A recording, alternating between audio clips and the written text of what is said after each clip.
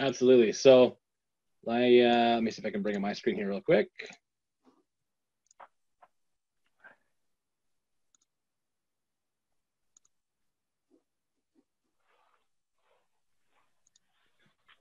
So basically, view controllers, Windows controllers, um, both inherit from the same controller base, and they're just used in different contexts, depending on what, how you want them to behave. So let me uh, bring up my Visual Studio with all my projects up here.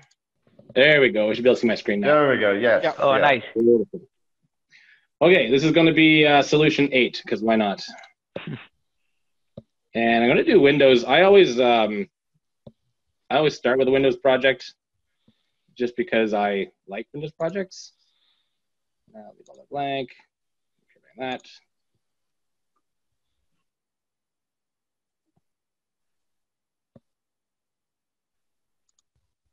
Oh, what the? Hang on. You, you gotta you, be- you, you, you choose VB. I didn't mean to do that. I wish you could choose who- not to. Who would language. choose that anyway? I mean, you can watch me struggle through. Uh, through VB if you really want. Uh, twenty point one. No, you're choosing no, Visual that's, that's Basic. Visual Basic. That's Visual Basic. Here we go. Filters. Good work there, Microsoft team. Love this. C sharp. There we go. Solution I always like name it like delete me. Delete Yeah. me solution something, delete me solution something. So I know that I have to delete them later. I mean, I reformat my, my my machine at least once a year, usually twice a year. So they don't. No, I do it like every month. So You lose all your VB projects when you do this. uh, no, the, the thing is that uh, virtualization. What you need is truly virtualization. So even if I restart, I, when I start again, I have the same mess on my projects file folder. All right. So if you're not familiar with the snippets that we use, if you use CodeRush, great. Uh, we at LlamaChant have code snippets that we use to make things a little bit quicker, uh, which are usually prop XAF to give us our list of uh, quickly creatable properties. So I'm gonna do a string for name, do a string email address, and a date time start or join date. Great. Uh, let me get back out of this.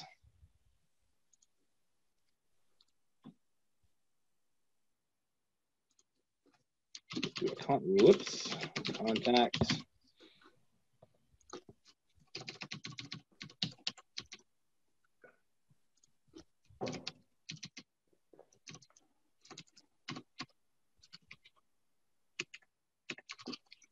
First name, do last name. And then if I want to do my association, I'm doing a prop XAF1 in this case. This is going to be a client. And then on the client side, I'm doing a prop XAF collection or collection aggregated. I'm going to do aggregated because the client basically owns the contacts. It's not coming from a shared pool.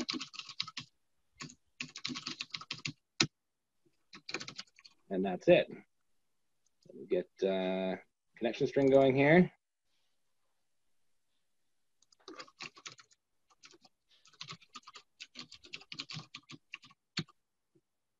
Let run. so controllers let you interact with views, the business objects, with other controllers, um, with templates, right? Everything that you want to be doing with the application, you're generally doing from a controller. So the question is, are you doing it from a Windows controller or are you doing it from a uh, view controller? And then if you're using a view controller, are you using the, the kind of base view controller or are you doing a object view controller where you can scope it down a little bit further? So here's my basic application. I'm going to put uh, Acme Company. Uh, info at. Um, pick a date. Great. Add a contact.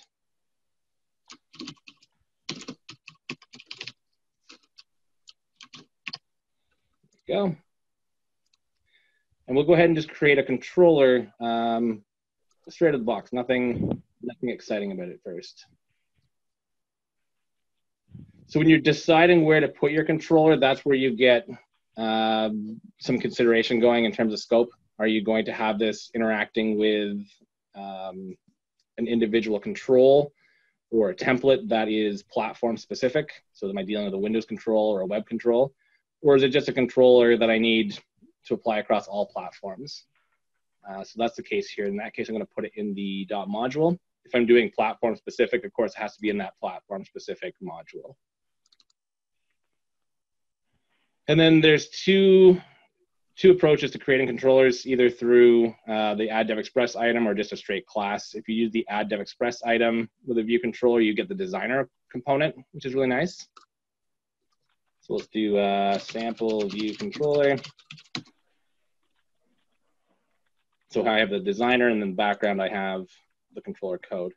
If you're doing it just in code, it, it's great. You don't have to use a, you don't have to worry about the designer piece of it, but you have to code in the actions and stuff manually. So let's just I drop. Did a whole, I did a whole blog, blog post about that. You can read on it. Oh, did you? Perfect. Yeah.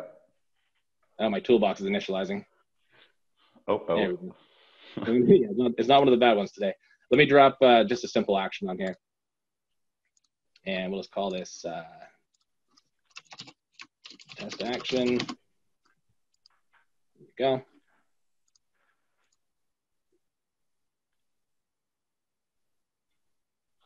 So because I haven't defined any kind of scope to this controller, it's going to be available everywhere. You see I have test action up here, which is a contacts list view, which is actually the client underscore contacts underscore list view. Um, doesn't do anything. And then it's also on the client detail view. So it's up here. Uh, if I go back to the client list view, it's also here. So there's no scope to this at all. It's just everywhere. And that's for every single view. That's why it's called a view controller. If I was doing a window controller, we can go back and change that real quick. So let's go back in code, and the only thing that defines it is this piece right here. So we're doing a window controller. Again, has no scope on it. Oh, hang on, can't do the view controls created. There's no controls created in the Windows controller.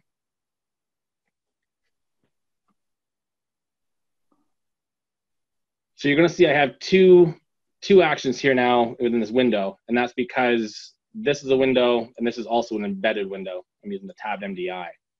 Um, you'll notice that my sub my sub view here, my nested list view, doesn't have that controller because it doesn't have its own window. It's just a view.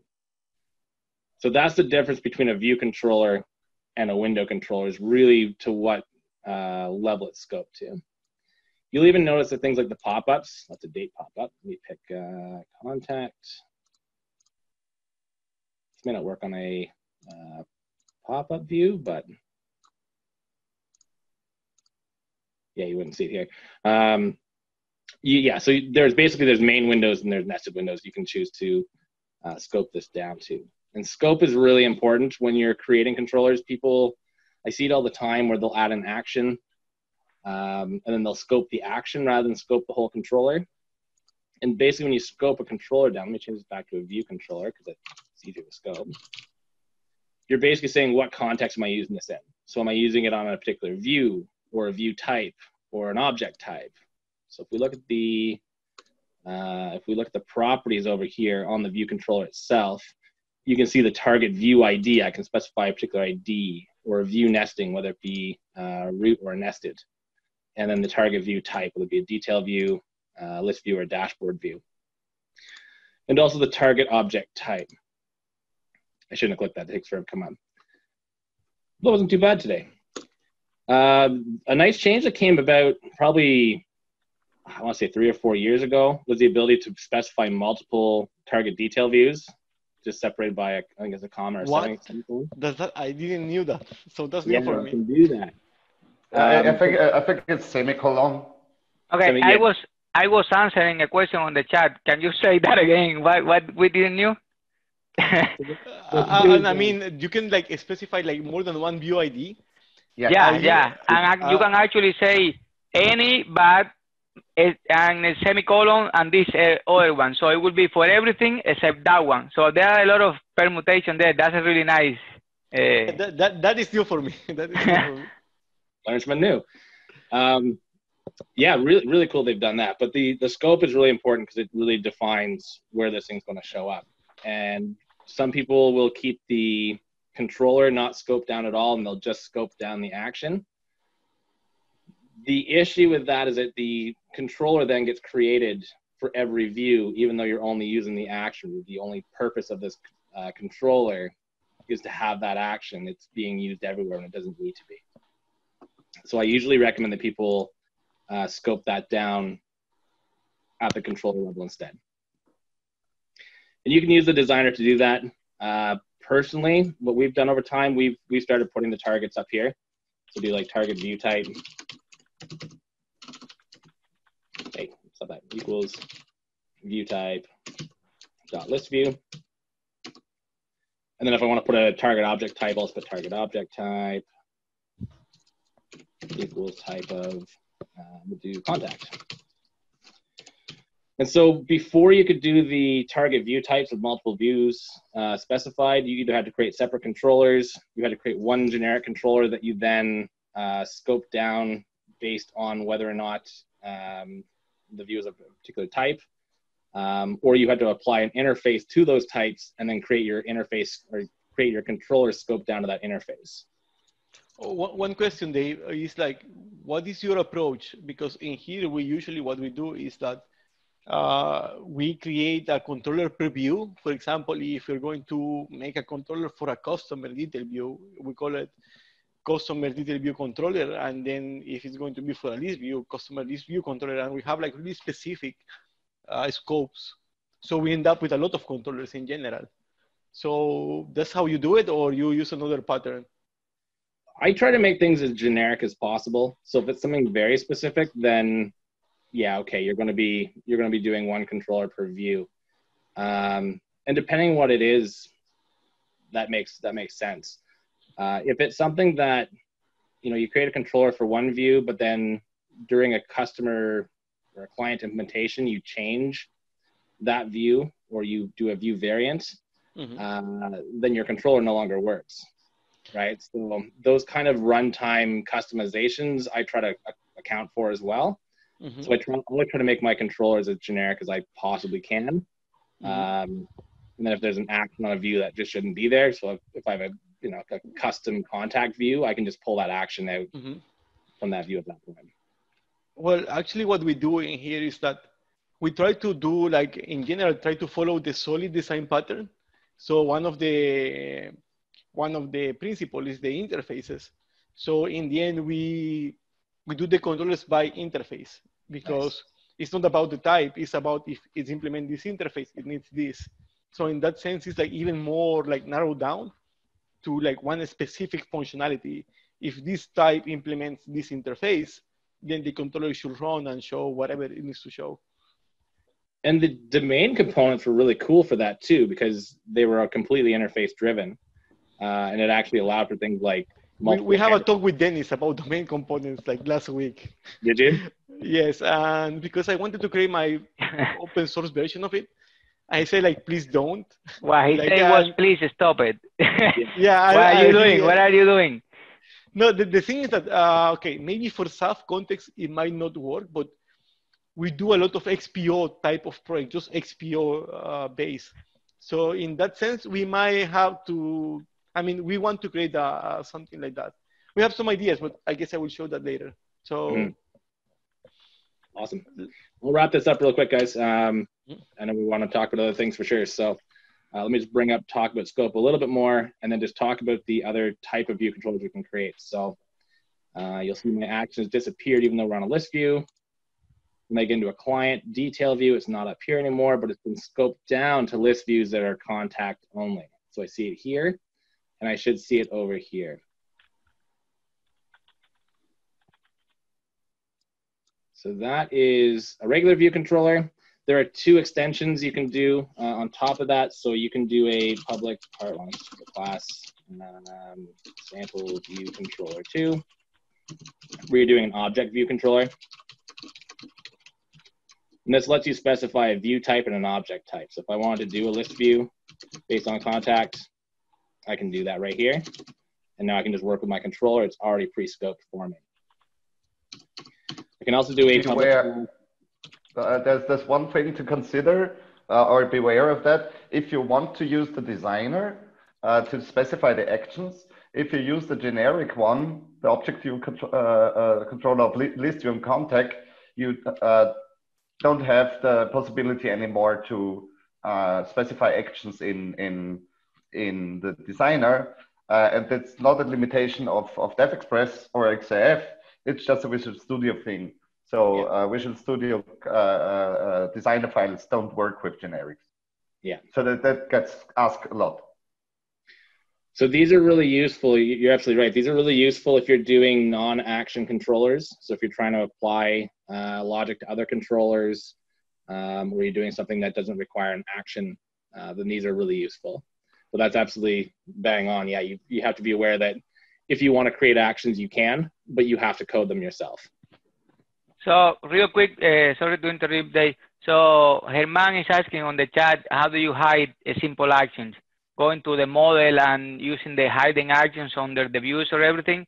So that's an approach, but you can also do it in code. You can actually in a controller say and the, set up the active or the enable. So active if you if you want to hide it completely, or enable if you want to like gray it out so they cannot disable it, so they cannot use it, and just put a reason like I don't like this action to be active in this view.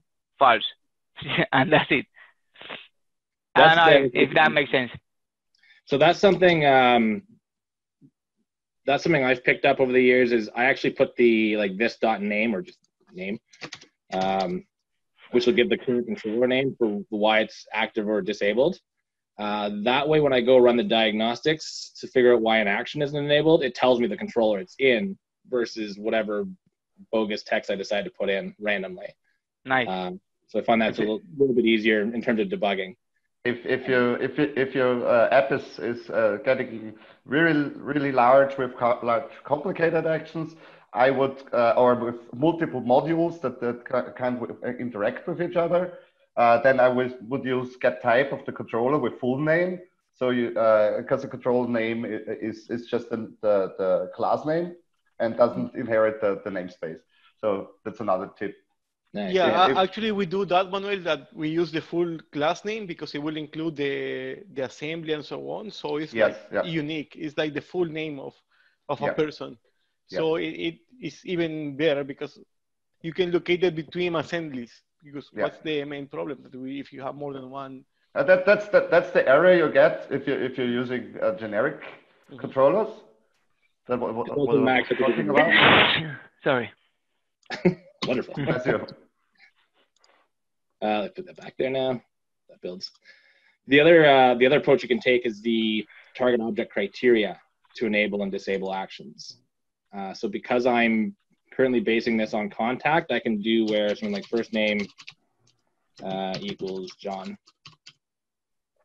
It has to be either true for at least one or true for all. You can pick a selection dependency type that requires at least one thing to be selected or one or more. Let's take one or more. So when I run this now, get there. Like that.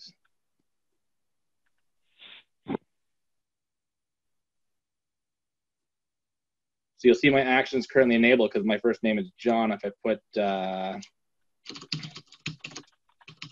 brother William in, that action becomes disabled automatically which is kind of cool. And that's just built in from one of their from the, one of the DevExpress controllers. It just looks at that criteria, uh, evaluates against the selection, and then enables or disables based on that the selected items. Is there anything I missed, guys? Is that pretty good? Uh, I think that you covered nice. like uh, everything. That's nice. And the question that I was uh, having on the chat is, if you use instead of enable active, it won't be gray out like it's doing right now. It will be completely hidden. You won't It'll even see it. Exactly. Yeah, so if we do um, simple action dot active,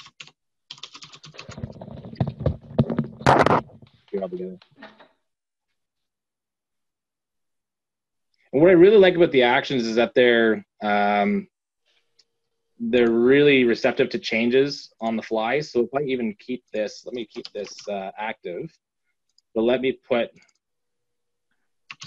some code into the execute, I can just remove it once it's been clicked. One thing that I learned from Dave is when you were naming the actions, if you like in the ID or the name, you put action before, then when you go to the model, you have all your actions that you did on the top and Exactly. all the actions from the express like following through. So that's really nice tip. It's a small one, but it makes a whole of a difference. Yeah, so here you can see again disabled because of that rule. But as soon as I'm on John, if I click test action, it just goes away.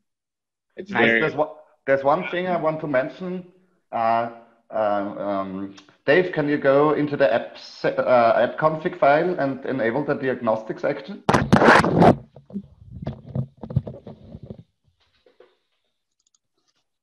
And that, that, that that's, that's the thing you should have always on in development mode. Because uh, sometimes it's, it's, it's hard to, to, to, to uh, figure out why an action is, isn't active or isn't enabled or something like this.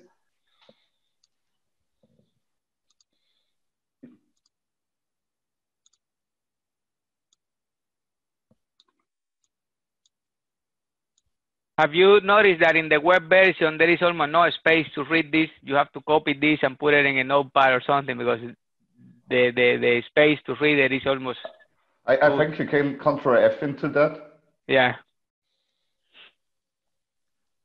there's a lot of data here. I actually I rarely use these uh, myself, but, But, if, uh, but but it's, it's, it's cool to troubleshoot. You can control F with it. So that's handy. there it is. There you go. Now it's active false. And now you can see the controller is active uh, false. No, you uh, missed it. But Oh, sorry. yeah. Yeah, no,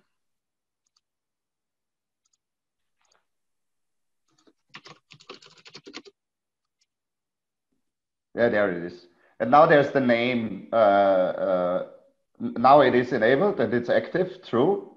And if you click it and search again for, the, for it, then there should be a reason into the item key one. No, uh, you, you have to execute the action because right now it's enabled and Oh, is sorry. disabled. Yeah, that, that was the, the thing I was. Yeah. And, th- and that is the, is the is the reason why we say put in the name of the controller. Mhm. Uh, Next one, right? caption delete. Uh, yeah, that, that's because you called it simple action with a with a small. Yeah. Uh, but never mind. Info is there. Found it is action one. Do I have to do the the child window or the basic diagnostics up here? No, it should be the child window. Boom, Right? De- de- depending on where the control is defined. Yeah, fair See, e- e- even if we're MVP, sometimes the stuff don't work, Absolutely. This is on live, Especially, especially live. especially live. and it calls because because it's not scripted. It's uh, but but never mind. Uh, the, Yeah, the, I- the I want to let everyone know that we have no preparation whatsoever, no agenda. So we just met 10 minutes before we start the community stand up and we just uh, start sharing what we know. So it, it sometimes it's going to happen. So we actually we created a like a little helper module. It's available somewhere on the, the uh, DevExpress uh, Help Center, where if you're having an issue where something's not behaving properly, you can add this module in, and you can actually turn off controllers, uh, either all controllers, all non-DevExpress controllers. You can check them on and off individually until you find that controller that's being problematic, uh, and we've we've found that helpful uh, over the years. Hey, It was really tricky. I have used it several times. We had a, a problem with an application with a lot of performance issues, and I just was like, where is this? A lot of queries coming from. I have no idea where is this. I deactivated all the controllers with your tool that I think that is really nice. I found that uh, actually on the DevExpress Center. And I, I actually pinpoint the controller that it was giving me the error, fix the error, and good to go. And that was a big help. That saved me a lot of time. Yeah, I, I think we should include that in the next meetup or maybe in a, a video with with LlamaChant that we use it. Remember, Javier, and I think it's really neat because for identify controllers that are creating performance issues, it's amazing. You can just turn it off and you will know where it is. So it's, it's nice. That's something I do wish DevExpress would include in, in the base is the option to turn on that benchmarking so that you can see how long it takes for each controller to become activated uh, or deactivated. I agree. That will be that will be nice. But, but I think that, that, that that's a, a, whole another topic, and this Absolutely. is. yeah, we can go. We're like specialists on going off topic mm-hmm. for like 40 minutes. Are there any more questions about view controllers and window controllers?